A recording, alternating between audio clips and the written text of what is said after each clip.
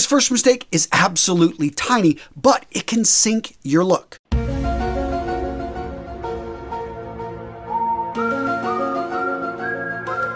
Come on, gents, look close. Can you spot the mistake? Now, gents, I'm sure a few of you guys caught it, but yes, I did not button a button right there on my cuff and right here on the front of the shirt. I had a button missing. And right with that, let's talk about belt loops. You want to make sure when you're putting on a belt, you put it on correctly. Now, gents, I get it. In the grander scheme of things, tiny details. But here's the thing people pay attention to those small details. And if you can catch it by simply looking at yourself in a full length mirror before walking out the door, why wouldn't you do that?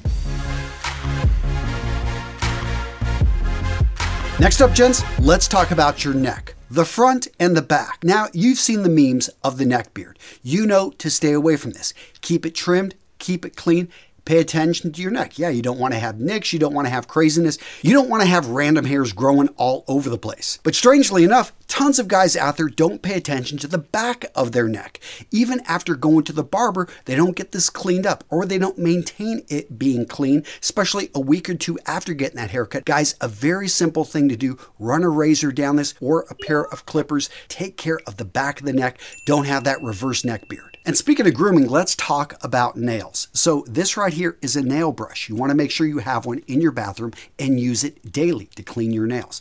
Next up, this right here, clippers. The majority of you guys use this. It's a great place to start, but advanced guys, yeah, level two, you guys are using scissors. Scissors do a much better job of making sure the nail is cut properly. Now, if you want to graduate to level three, learn to use a file, whether it's glass or metal. A file, especially when used correctly, going in one direction, is going to be one of the best ways to make your nails look good. Now, what if you bite your nails? Guys, I get it. Some of you guys have this bad habit and how to get over it. Okay, they have nail polish out there that you can actually put on. It's clear and it tastes horrible. So you will stop biting them. But I think a better method is to actually go in and get a manicure. Yes, get a manicure. Why? Because when you spend money on your nails and you have a professional taking care of them, guess what? You are going to be less prone to actually damage, to mess up what you just spent money on. And I've talked to a number of guys about this. Yeah, it actually seems to work. So if you are biting your nails, go and see a professional and spend some money on it. And uh, yeah, you'll probably stop. The next style mistake you want to fix that floppy, flat collar that keeps sliding underneath your jacket that has no life to it. Now, how to fix that? Well, you could go out and buy all new shirts with better front plackets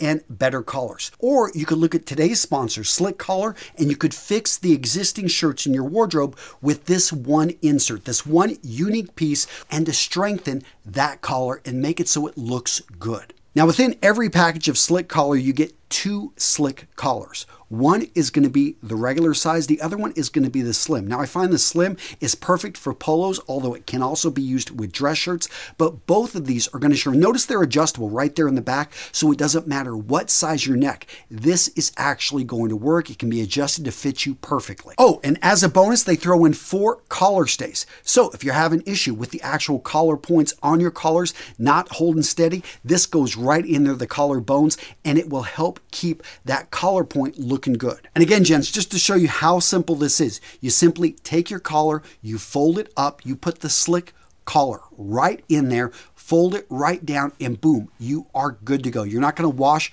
your shirt with this. You simply take it off and you can use it with all the shirts in your wardrobe and you forget it's there. It's light, it's out of the way. It just simply makes you look better. And by the way, they do have a patent on this, and that's what I love about this business. The entrepreneurs that founded this, they saw a problem, they solved the problem. So seriously, guys, check them out. I will link to them down in the description of today's video with the best deal you're going to find on the web. Awesome company, proud to support them. Now, speaking of layering, let's talk about sweaters. So after you've worn a sweater for a while, especially if it's made of a variety of materials, you're going to notice that the sweater starts to pill. Pill are those little balls that form usually around the armpits, around areas in which there's a lot of friction. You want to get rid of these. One of the easiest ways is to use a sweater stone. If that's not available, then simply look to a disposable razor. Yes, you're going to shave your sweater, and this does an excellent job of getting rid of the pilling. So this next mistake makes you look really sloppy, and that is wearing white that is no longer white. Yeah, it was your favorite t-shirt, your favorite dress shirt, but it's starting to yellow and you don't know exactly when this happened, but you're starting to notice it and you throw it in the wash and nothing seems to happen. But let me ask, are you washing it properly? So the first thing is to maybe add just a little bit of bleach. You don't want to overdo this because too much bleach can actually cause the yellowing. Other options are to add a little bit of hydrogen peroxide, maybe add some baking soda, add a little bit of vinegar. All of these can help to reduce and get rid of that yellowing. Now, if none of these home remedies work and you're not washing this with colors, again, you're washing your whites with whites, then take it to a dry cleaner, especially if this is a shirt that you do want to try to salvage. They've got special chemicals that they will put on that white to try to bring back out the brightness. All that being said, and especially if we're talking about a t-shirt here, it just may be time to get a new one. So maybe turn that into a work shirt. You keep around the house. Maybe when you turn into rags, you use to polish your shoes.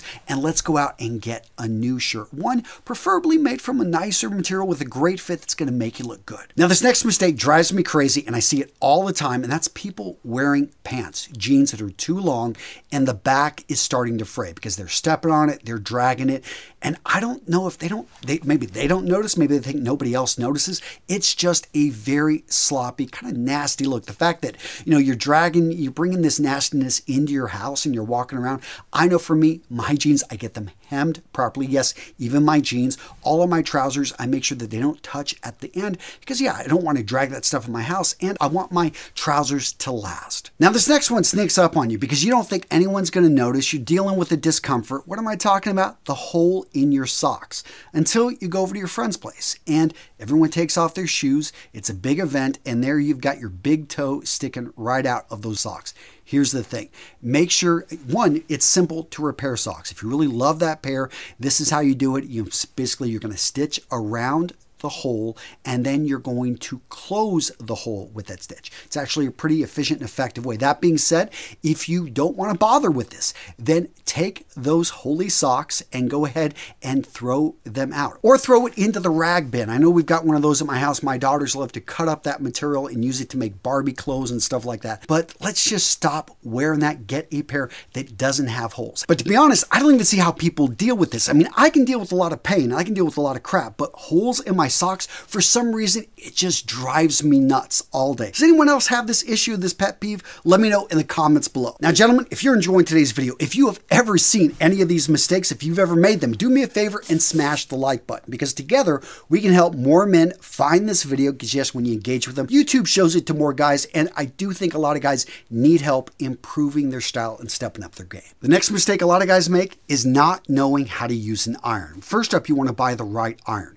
Notice the the number of holes on the bottom. This means that this has a great steam function. And usually that's what you're paying extra for, the base plate. They're putting more metal into it. It's going to be stronger. It's going to maintain a more consistent heat.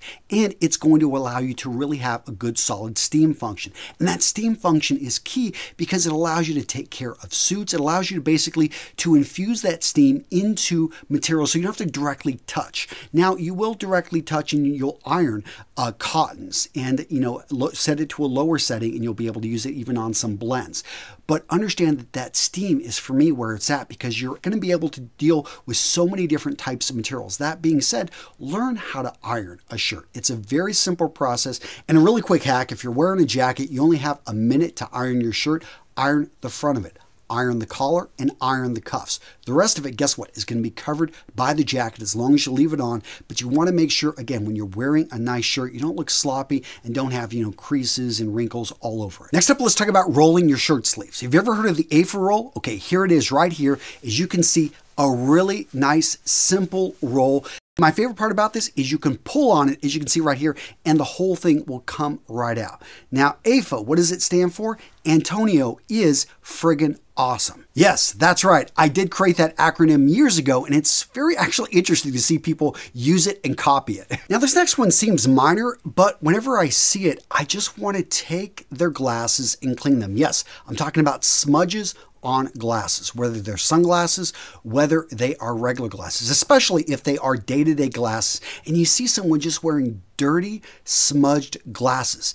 So one of the easiest things to do is one, have a case for your glasses, so put them away when you're not using them. But in that case, have a microfiber cloth. Yes, these come free, and a lot of people just throw them out, but microfiber cloths are just perfect. They're so much better than a paper towel or even your shirt because your shirt using cotton or a paper towel using, you know, some type of a pulp. This right here is going to actually have a lot more abrasive in it versus the microfiber, which is made specifically to clean the lens and especially if you're using a solvent, something to actually go in there and uh, do a good job dissolving the oils. Now, really quick, let me ask any of you guys pet owners? Cats, dogs, I've got both. And the problem with them, as you know, is that they shed and that hair ends up everywhere. It ends up on your jackets, it ends up on your coats, especially darker colored coats. You want to make sure that you're getting rid of the lint. I know I've got lint removers in my vehicles.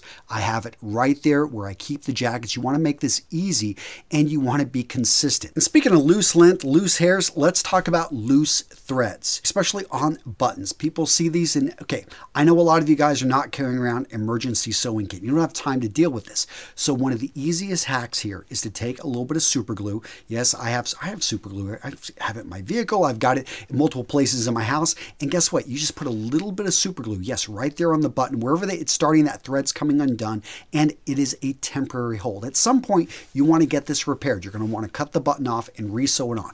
But for now, the super glue is going to keep that thread from unwinding anymore. Now, I know if you've been wearing a shirt or you've been wearing a jacket or anything for a long time, you're going to start to see frays. You're going to start to see material coming off there. You can go through and trim it, but eventually you're going to want to take this to a professional to be able for them to be able to fix it up or eventually you're going to need to retire this piece. What video to watch next? Well guys, if you're making these mistakes right here, they are going to make you look fat. Now I say this with love because I want you guys to look good. I want you to look large and in charge, not fat and sloppy. And by the way, if you are a thin dude, I've still got you covered in this video because there's some solid info here. It's a good one. Go check it out. It's, it's solid.